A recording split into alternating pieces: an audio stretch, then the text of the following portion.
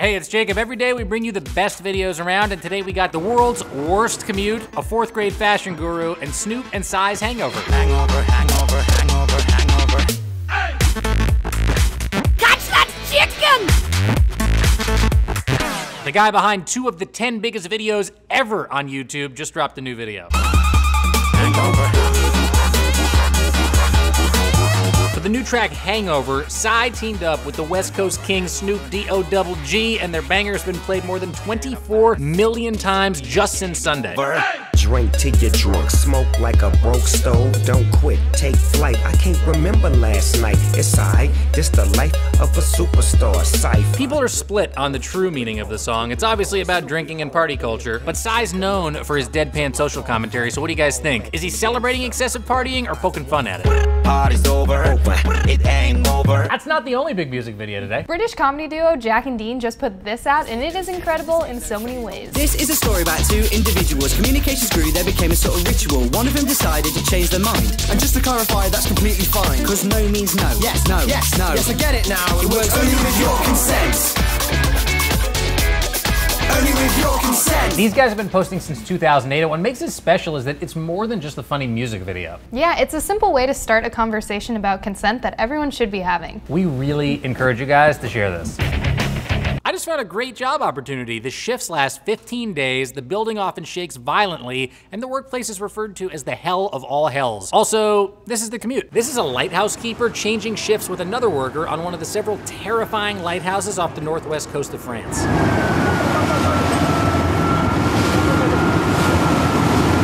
This video actually posted last year, but it started trending this weekend on a bunch of blogs. Is your commute crazier than this? Post a link in the comments with proof.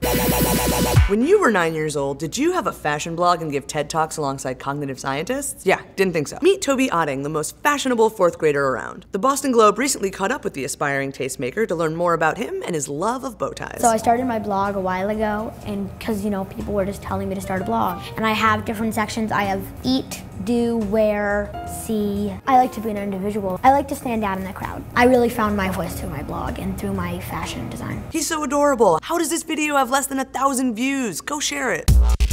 This week, the Pet Collective is out to prove that there's only one thing better than a cat in a wig, and that's a cat in a wig holding a giant butcher knife. Stay out of my kitchen! To celebrate the triumphant return of Orange is the New Black, these guys just posted what might be their best animal parody to date. My name is Piper Catman.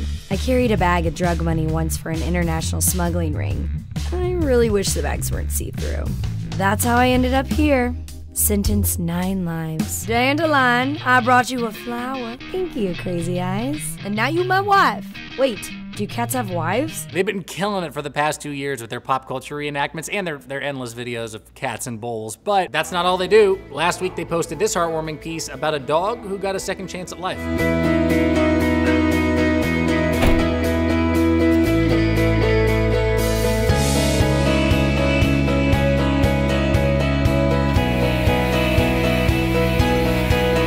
Post new videos every day. Subscribe so you don't miss out on videos of puppies who don't understand stairs.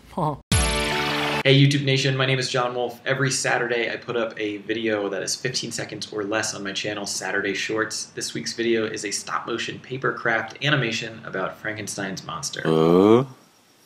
Uh.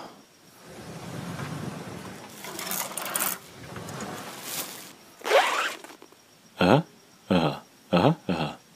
Thanks, John. You guys leave us a lot of great comments, so we wanted to take a moment to address a few. Joy Lofton asks, is that a kitchen I see in the background? Geez, what else do you guys have at YouTube Nation headquarters? Joy, not only do we have a kitchen, but we also have a pool, a dinosaur, and a full-service deli.